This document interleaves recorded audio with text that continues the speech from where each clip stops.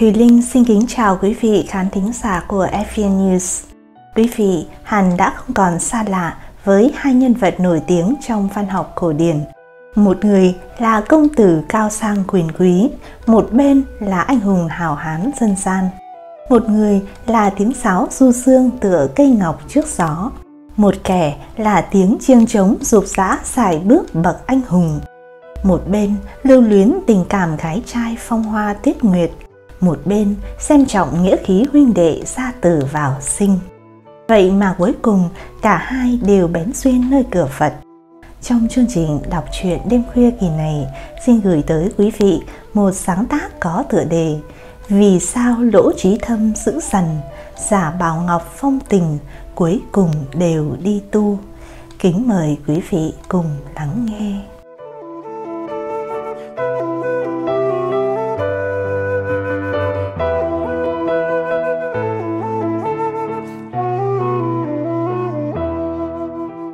Hồi thứ 22 trong Hồng Lâu Mộng, trước khi đón sinh nhật, Bảo Thoa đã chọn vở kịch Sơn Môn Cửa Chùa, tiết mục thuật lại cảnh lỗ trí thâm phá giới uống rượu say, đại náo ngũ đài sơn, rồi bị trí chân trưởng lão trục xuất đi nơi khác. Lúc từ biệt sư phụ, trí thâm đã hát bài Ký sinh thảo. Anh hùng chùi nước mắt, sử sĩ tiếc chi nhà, lạy di đà, cắt tóc dưới tòa sen phật, hết duyên pháp, chớp mắt thành ly biệt. Trần chùi chùi, đi về không vướng víu. Tìm đâu tá, nón mưa, áo khói, một mình đi. Mặc kệ ta, giày rơm bát vỡ, theo duyên đến. Bảo ngọc nghe khúc nhạc, liền ngộ được thiền cơ. Chỉ một câu, trần chùi chùi đi về không vướng víu đã làm thức tình người trong mộng. Hết thảy mọi thứ của thế gian đều là vật ngoài thân khi sinh không mang theo đến khi tử cũng không mang theo được. Thái độ nhân sinh phóng khoáng, phong thái hào hiệp trượng nghĩa của lỗ trí thâm khiến bảo ngọc đặt định nền tảng cho quá trình xuất gia ngộ đạo sau này. Một bên là công tử cao sang quyền quý, một bên là anh hùng hào hán dân gian một người.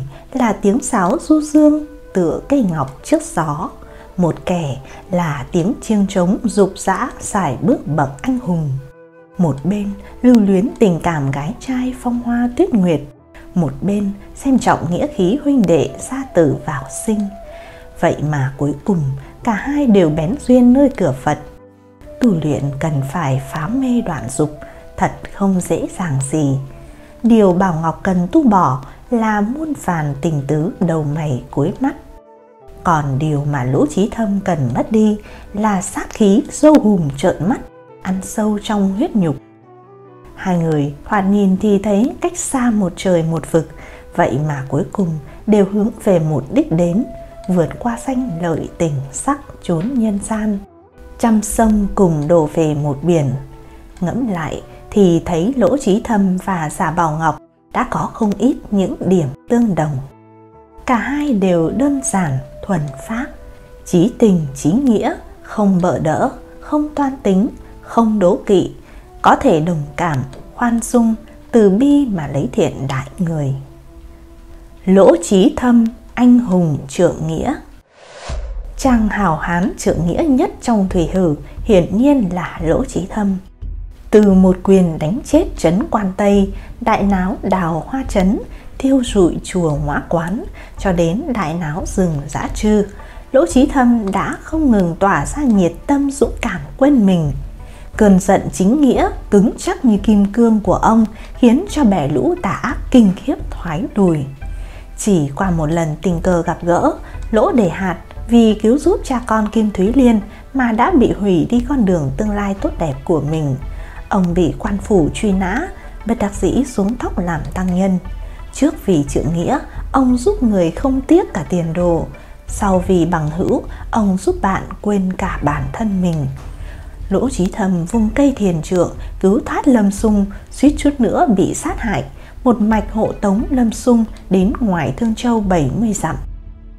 Bởi trở thành cái đinh trong mắt của cao cầu, ông muốn yên phận làm hòa thượng trông coi vườn sau trong chùa tướng quốc mà cũng không thể được lần nữa lại lang thang phiêu bạt khắp giang hồ, cuối cùng lên núi làm đạo tặc.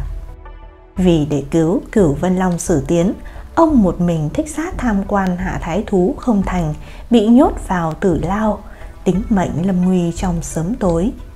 Thấy việc nghĩa không từ, xả thân vì nghĩa, chỉ cần là chuyện nghĩa hiệp, ông đều nghe theo tiếng gọi lương tâm mà hành động không chút do dự. Nên ra tay thì ra tay, trước sau không hề cất đo đong đếm, suy tính thiệt hơn. Trong 108 anh hùng Lương Sơn Bạc, người thật sự mang đến ánh sáng và ấm áp cho mọi người hẳn chỉ có thiên cô tinh lỗ trí thâm.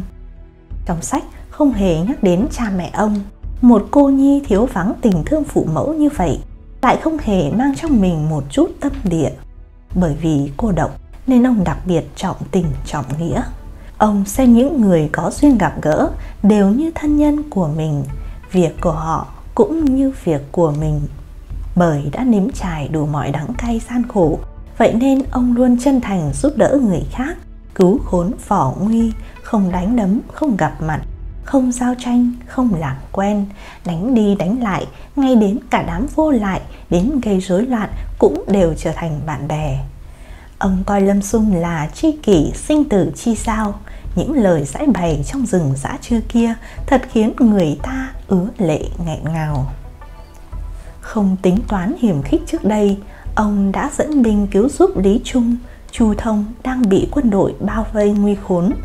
Bởi thường xuyên hành hiệp trượng nghĩa mà rước họa vào thân, lỗ trí thâm thường bị dồn đến bước đường cùng.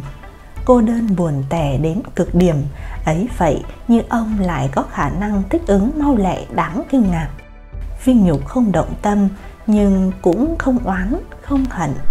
Chịu khổ bị liên lụy nhưng hoàn toàn không thấy khổ trong cuộc sống lại tràn đầy lạc quan nhiều lúc ngây ngô vụng về như đứa trẻ bướng bỉnh nơi sơn dã đáng yêu nhưng lại lạc quan hài hước một hòa thượng to béo thế kia lại còn trông chờ ai đó đến che gió che mưa cho mình chẳng trách Chí chân trưởng lão vừa trông thấy trí thâm đã nhìn ra chân thiện và huệ căn của người đàn ông thô lỗ trực tính này. Trên thì ứng với thiên tinh, trong tâm thì cương trực thẳng thắn. Mai này sẽ chứng đắc quả vị phi phạm giả bảo ngọc, tình trùng tình si. Thần anh thị giả hạ phàm đầu thai, trong miệng ngậm viên thông linh bảo ngọc. Viên luyện thạch còn sót lại khi nữ hoa luyện đá phá trời. Người đến sau là giáng châu tiên thảo bên cạnh tam sinh thạch ở bờ sông linh hà muốn dùng nước mắt cả đời để báo đáp ân tình tưới nước cam lồ của thần anh. Bởi vậy mà mang đến câu chuyện chính sách, phó sách trong kim lăng thập nhị thoa. Ở nơi êm ấm giàu sang, trong nữ nhi quốc vườn đại quan, bảo ngọc cùng các chị em đánh đàn, chơi cờ, ngâm thơ, vẽ tranh. Bảo ngọc đặc biệt yêu mến và quan tâm đến các chị em loại tâm tình nâng niu thương hoa tiếc ngọc đó, đến từ tình si trong bản chất và chức trách đời trước của chàng. Chàng dùng thiên nhãn nhìn thấu trong thế giới hồng trần cuồn cuộn và bẩn thỉu xấu xa này. Phát hiện trên thân những thiếu nữ ngây thơ lãng mạn kia vẫn còn lưu lại phần nào nét thanh tịnh thuần khiết, câu thông với thiên giới. Trong số đó, em lâm hệt như có dáng dấp thần tiên ấy chính là người chàng yêu thương nhất. Bảo ngọc nói rằng, xương thịt của người con gái là nước kết thành, còn xương thịt của người con trai là bùn kết thành. Cho rằng nữ thanh nam trọc, nữ nhi trong sạch, nam nhân sơ bẩn. Mọi vẻ đẹp của thế gian đều hội tụ trên thân nhi nữ. Vẻ đẹp trong sáng thuần khiết của tuổi thanh xuân ấy lại trong veo, óng ánh và lung linh như dòng tĩnh thủy lại xinh tươi ngào ngạt, hương thơm, sớm nở tối tàn, mau chóng ngắn ngùi như các loài hoa. Điều ấy khiến chàng yêu thích, cảm động, tán thán, thậm chí quên đi bản thân mình. Đại ngọc chôn hoa, bảo thoa bắt bướm, bảo cầm đạp tuyết tìm mai, tương vân ngủ dưới khóm hoa thược dược, là những tình thơ ý hòa đẹp đẽ. Nếu Tào Tiết Cần không khắc họa một cách sống động các thiếu nữ cao nhã nơi khuê các, thế thì hình tượng nữ giới trong văn học cổ điển Trung Quốc sẽ rất nhạt nhẽo, nhàm chán và đơn điều vậy. Chàng làm biếng qua lại với nhân vật trốn quan trường như giả vũ thôn, cũng không nguyện ý sống cuộc sống mặt lạnh như tiền như người cha giả chính của mình, lại càng xem thường lối sống dầm loạn của giả liễn, tiết bàn. Bảo Ngọc tôn sùng tinh thần lão trang và phong cốt ngụy tấn, theo đuổi tình cảm tâm linh và lối sống tràn đầy ý thơ, muốn làm một tài tử giật sĩ bên ngoài thể chế. Vị khách đến từ thiên thượng này thỉnh thoảng có những nỗi niềm cô đơn phiền não, mẫn cảm đa tình không mấy ai hiểu được. Chàng chuyện trò cùng chim cá cỏ cây ngửa mặt lên trời ngắm nhìn trăng sao mà đau buồn thở than bảo ngọc không dùng cái tâm sanh lợi để nhìn nhận đánh giá người ta, mà là dùng trái tim của trẻ nhỏ thuần khiết, siêu việt khỏi thước đo của thế tục để khiến mình trở nên thanh cao, thoát tục. Dù là con trưởng hay con thứ, chàng đều đối xử bình đẳng. Đối với a hoàn, tôi tớ cũng vui vẻ đối đãi như nhau. Chân thành cho rằng bản thân không thông minh hơn những cô gái, rất đỗi thông minh rất đỗi thanh tú, trong trắng thuần khiết, phẩm hạnh đoan chính kia, đồng tình sâu sắc với vận mệnh bất hạnh của họ. Chàng cảm phục tình văn, bản tính ngay thẳng, không chút nịnh bợ, không có vẻ ngoài nào của một a hoàn. Chàng trang điểm cho bình nhi chịu ủy khuất khi bị phượng thư đánh mắng. Nhìn thấy ông quan già, vẽ hoa tường phi, chàng trai vạn người mê này đã thể hội được tình duyên của đời người, mỗi người đều đã có an bài sẵn cả. Chỉ có bảo ngọc đa tình giải bày tâm can với em lâm, tình cảm si tình và chân thành đó mới khiến lòng người cảm động đến vậy. Đại ngọc đàm luận về thiền, hai trái tim có được sự đồng cảm với nhau, tình yêu son sắt không bao giờ thay đổi. Không theo đuổi công danh mà lại điên cuồng vì tình yêu nguyện vì tình yêu mà chết, thật đúng là kẻ lạc lõng bên ngoài nhân thế, trước đây chưa từng có vậy. Thật khiến cha mẹ đau lòng. Khuyên giải đánh mắng, ra sức đắp nặn cũng đều không thay đổi được chàng. Nhưng đó vốn là con đường chàng đến thế gian. Chính như cảnh ảo tiên tử đã nói, sau khi nếm trải mộng ảo của cái mùi xanh lợi thanh sắc, có lẽ mai sau sẽ ngộ đạo nâng niu chở che hoa mỗi người mỗi cách Trí Thâm và Bảo Ngọc còn có một điểm chung ở xã hội thời đó có thể nói là cực kỳ hiếm thấy, đó chính là mang đến sự che chở đối với bậc nhi nữ yếu mềm. Đương nhiên, phương thức của họ đều không giống nhau. Thời xưa, những người luyện võ tu đạo có truyền thống giữ gìn nguyên khí tiên thiên, xa rời nữ sắc. Lỗ trí thâm nhổ bật cây dương liễu, nội công thâm hậu, thần lực vô tỷ. Võ nghệ dày công tôi luyện đạt đến cảnh giới cao như vậy, ngay đến cả lâm sung thâm niên từng trải cũng phải khen không ngớt lời. Trên chiến trường thiên quân vạn mã, ông cũng nhiều lần lập được kỳ công. Lỗ trí thâm hành thiện trừ ác, che chở cho những quần thể yếu thế, không lạm sát vô tội. Phẩm đức và cảnh giới của ông vượt xa hơn cả những anh hùng hào kiệt khác. Trong thủy hử, những kẻ giết hại phụ nữ không ít, còn trong những lúc nguy nan then chốt, dám liều mình đứng ra, không sợ cường quyền, không kể báo đáp, không cầu hồi báo, tôn trọng và che chở cho những người phụ nữ yếu đuối, vốn không chút liên quan gì với mình, thiết nghĩ chỉ có duy nhất một mình lỗ đại hiệp mà thôi. Vị hoa hòa thượng uống rượu ăn thịt, trên miệng có xăm hoa này lại thật sự che chở cho hoa. Lỗ đại hiệp không chỉ đầy đủ năng lực hành động, hơn nữa trong thô lỗ còn có cả sự tinh tế, kiên trì có trách nhiệm Ông trượng nghĩa khinh tài, giải cứu cha con Kim Thúy Liên trốn khỏi miệng hổ, lo lắng người hầu trong quán trọ đuổi theo, đang ngồi vững trong quán suốt 4 giờ đồng hồ liền. Tiểu bá vương Chu Thông muốn cưỡng đoạt con gái của lưu lão ở đào Hoa Trấn. Lỗ trí thầm trước tiên ra tay dạy cho y một bài học, sau đó lại giảng rõ đạo lý, tận tình khuyên giải, cuối cùng yêu cầu Chu Thông bẻ gãy mũi tên, lập lời thề không bao giờ được nuốt lời, không được làm khó dễ người ta mới thôi. Tống Giang thường lấy danh nghĩa lương thiện tốt bụng và những ân huệ nhỏ nhặt để che đậy tư tâm của mình.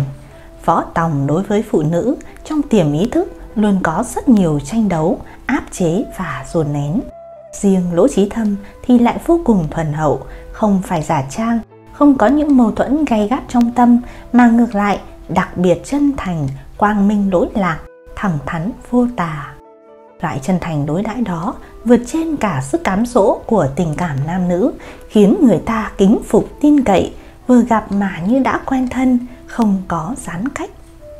Ông xót thương trước một Kim Thúy Liên khóc lóc kể lể sự tình, lại càng kính ngưỡng trước một Lâm Nương Tử trung trinh tiết liệt.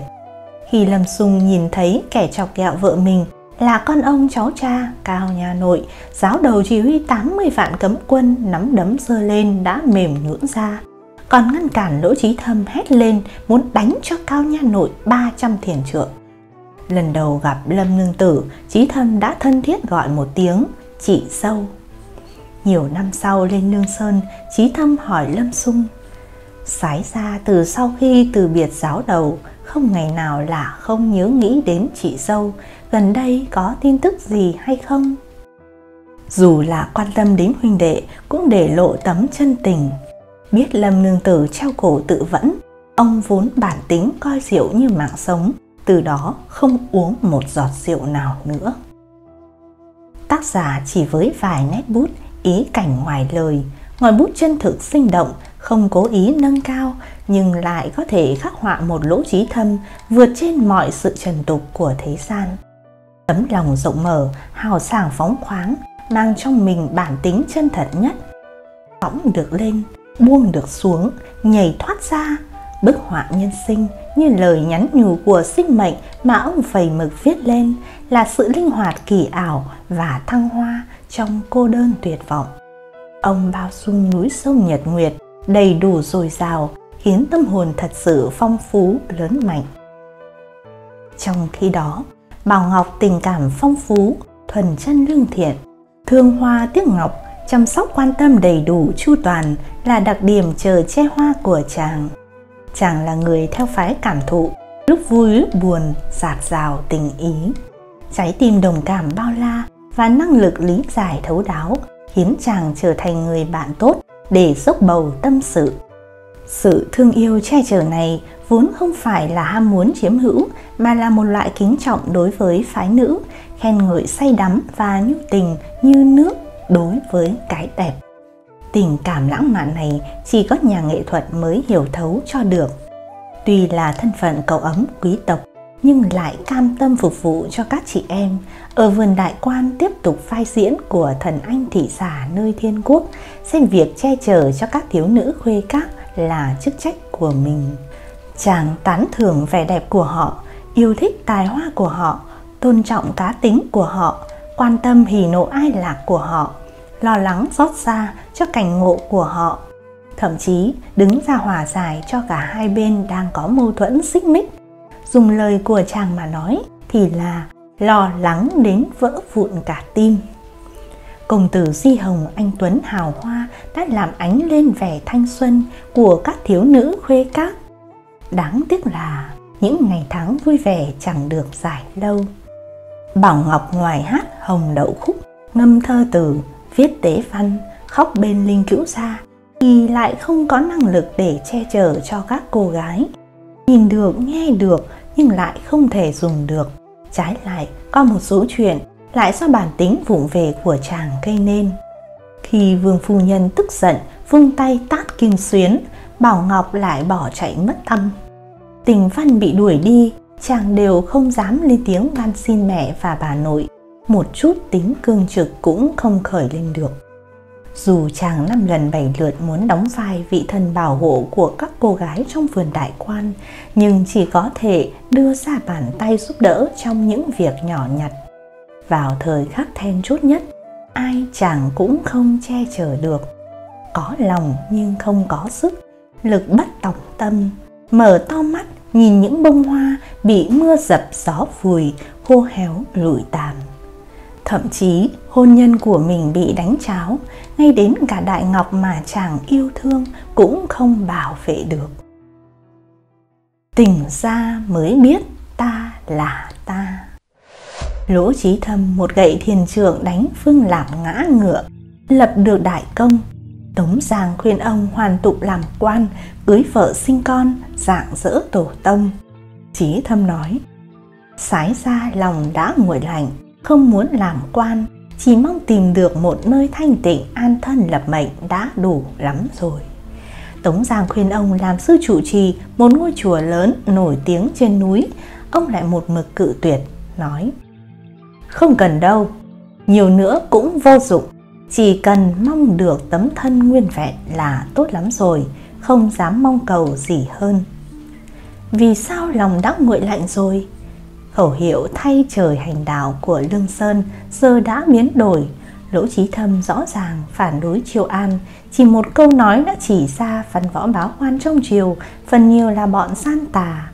Sở dĩ ông vẫn còn đi cùng Tống Giang hoàn toàn là để làm tròn cái nghĩa huynh đệ. Đội quân Lương Sơn bị triều đình dùng làm con cờ lấy giặc diệt giặc, đánh đông dẹp tây, ác chiến hết trận này đến trận khác các tướng sĩ máu đổ đầu rơi, chết thảm hơn phân nửa.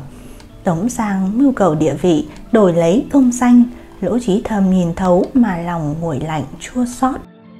Biết bao chuyện giết chóc trong quá khứ, bao lần cất cao khúc hát, máu và lửa của thời Xuân Thu, giờ đây ông dã từ sự nghiệp khi đang trên đỉnh vinh quang, thứ gì cũng đều không cần, chỉ muốn tìm một nơi thanh tịnh. Đời này không hoàn tục, một thân khoác tăng bào đến phút cuối cùng. Đây chính là lỗ trí thâm. Minh mẫn sáng suốt xuất sắc hơn người. Kết quả là nhóm người tống giang cuối cùng từng người từng người bị triều đình hại chết. Buổi tối đêm trung thu tại chùa lục hòa hàng châu lỗ trí thâm nghe thấy tiếng sóng lớn trên sông tiền đường như tiếng chống trận sợp trời kéo đến. Tăng nhân trong chùa cho ông biết đó là tiếng triều tín. Chí thâm bỗng nhớ đến câu kệ mà sư phụ Chí chân đưa cho mình. Phùng hạ nhi cầm, ngộ lạp nhi chấp, thính triều nhi phiên, văn tín nhi tịch. Quả nhiên mọi chuyện đều đã ứng nghiệm. Ông bắt sống Hạ Hầu Thành, bắt sống Phương Lạp. Chí thâm vỗ tay cười hỏi ý nghĩa của phiên tịch. Cười rằng nếu như chết được gọi là phiên tịch Sái ra đêm nay ắt phải viên tịch rồi. Thế là ông bèn tắm gội thay đồ Viết ra lĩnh ngộ của mình Đốt một lò hương Xếp bằng đà tọa Viên tịch niết bàn. Câu kệ viết rằng, Bình sinh chẳng tu thiện quả, Chỉ thích giết người phóng hỏa. Chợt tình tháo tung dây thừng vàng, Tới đây giật phăng chiếc khóa ngọc. Tiền đường nghe sóng chiều vang dội, mới tình ra rằng, ta là ta. Nhìn lại thế gian biết bao anh hùng tóc bạc da mồi, biết bao mỹ nhân vào tuổi xế chiều, sống chết chỉ trong nay mai, phấn son nay chỉ còn lại nắm cho tàn lạnh lẽo. Nhưng thế nhân, có mấy ai đã từng nghĩ qua, thật sự nhận thức bản thân mình là ai? Mỗi người đều có phật tính, chỉ là đã bị rất nhiều thứ nơi thế tục che lấp mất. Những lời tuyệt bút trước lúc viên tịch của lỗ trí thâm, thứ bị giật đứt là gông xiềng của danh lợi, trói buộc của yêu hận tình thù. Hôm nay mới biết ta là ta, đó là đại triệt, đại ngộ thật sự. Ông là trang nam tử hào hán đội trời đạp đất, đằng sau vẻ bề ngoài lỗ mãng ngang ngạnh, lại là một trái tim tràn đầy sự tử bi thuần thiện. Không kể vinh nhục được mất, không từ bỏ một cơ hội cứu giúp người, đâu đâu cũng đều vì người khác trước sau không nghĩ gì về bản thân mình.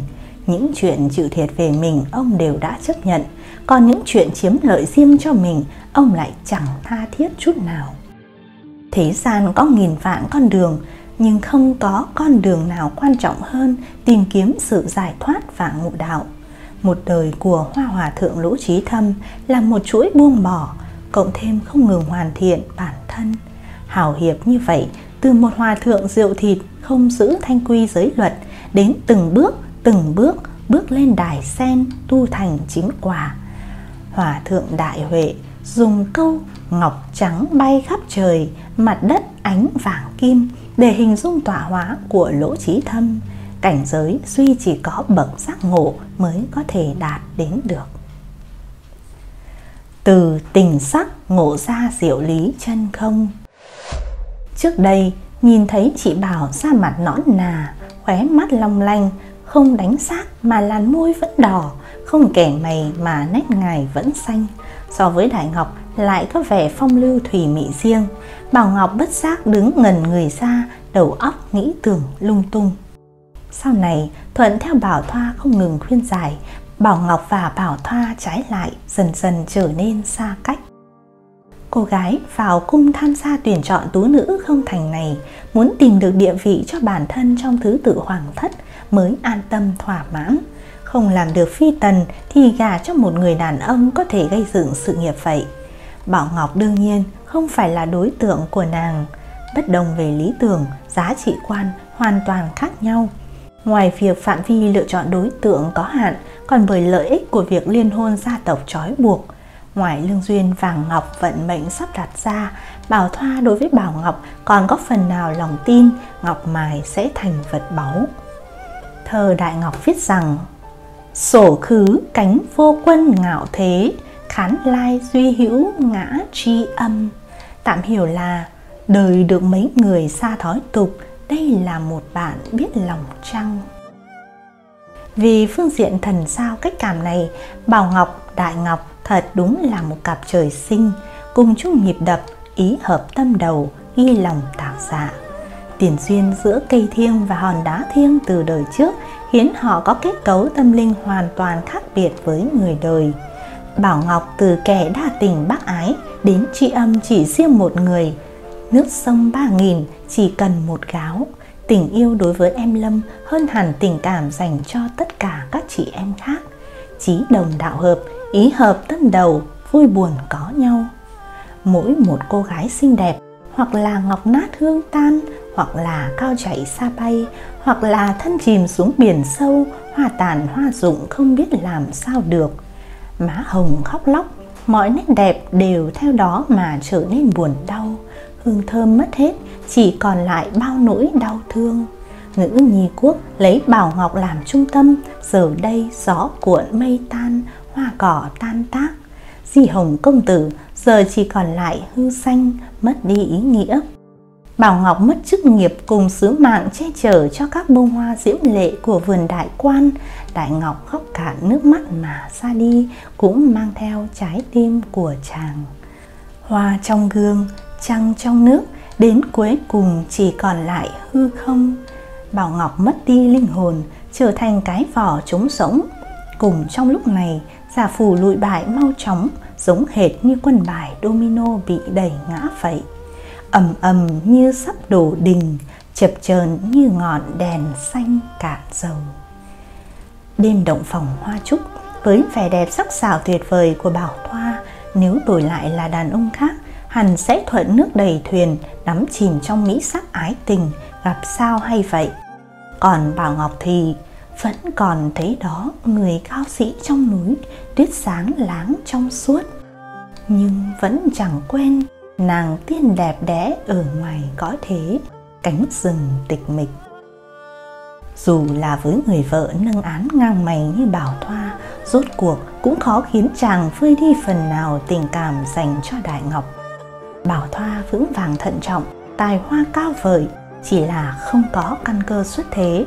Nàng có bản tính hoàn mỹ trước sau như một trong cách làm người, với Bảo Ngọc vô hình chung tạo nên một loại áp lực vô hình, từ cách ứng xử ung dung bình thản đến từng bước dụng tâm thận trọng, cộng thêm kỹ năng xử thế linh hoạt, khuyên nhủ từ đầu đến cuối, thúc giục mà đặt người ta vào đúng vị trí, bước trên con đường công danh.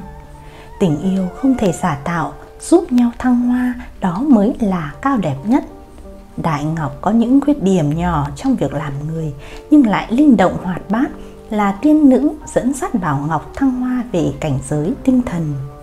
Tình yêu trong ngần thuần khiết cùng với sự thông minh tài trí của Đại Ngọc đã vượt trên hết thảy mọi lợi ích thế gian, vượt trên thứ tình cảm nhục thể, vượt trên cả sinh tử, là ý thơ đẹp đẽ lãng mạn nhất trong hồng lâu mộng. Giáng châu tiên tử hạ phàm không chỉ là hoàn trả nước mắt mà còn là dùng cái giá của sinh mệnh để kêu gọi thần anh quay trở về quê nhà nơi thiên giới. Bảo Ngọc từ chỗ bị mê mờ trong cái thế giới hiện thực này, vô luận là Đại Ngọc hay Bảo Thoa, chàng đều đã phụ họ. Nỗi niềm say dứt không thể loại bỏ và cảm giác năng tội đè nén trong tâm chàng từ chấp trước vào việc khám phá sắc tướng hữu hình bên ngoài, từ giác ngộ diệu lý chân không trong cách tình si, trần trừ mãi không buông. Giờ phút này đây, chàng nguyện không bị vũng bùn ô nhiễm nơi thế tục dẫn dắt lôi kéo mà tạo thêm nợ nghiệp nữa. Trước lúc ra đi, chàng đã cho mọi người trong nhà một biểu hiện giả dối. Thật ra, đó là sự bù đắp cho những thiếu sót và bản sao trước khi đi thì Đỗ Hương Khôi báo đáp cha mẹ cho vợ Hiền một đứa con trai.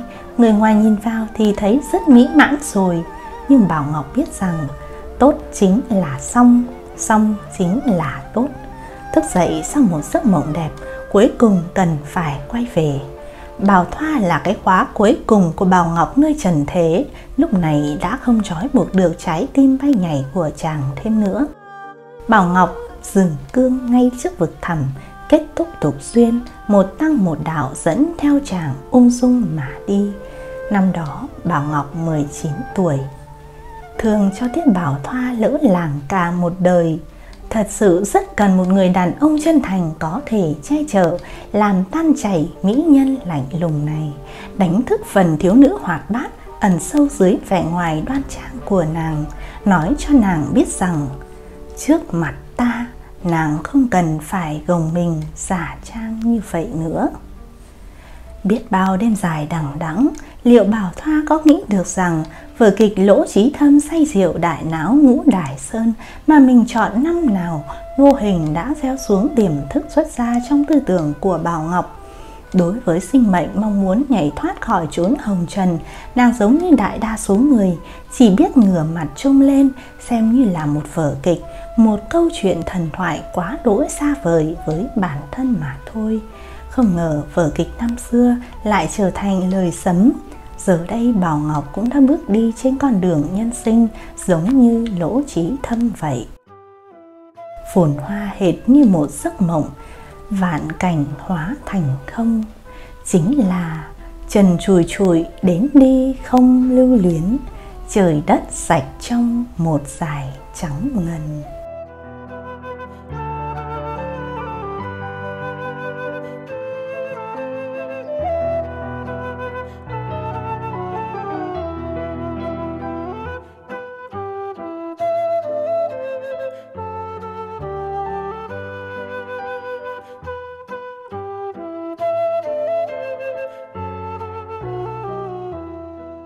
Chương trình đọc truyện đêm khuya kỳ này đến đây là kết thúc.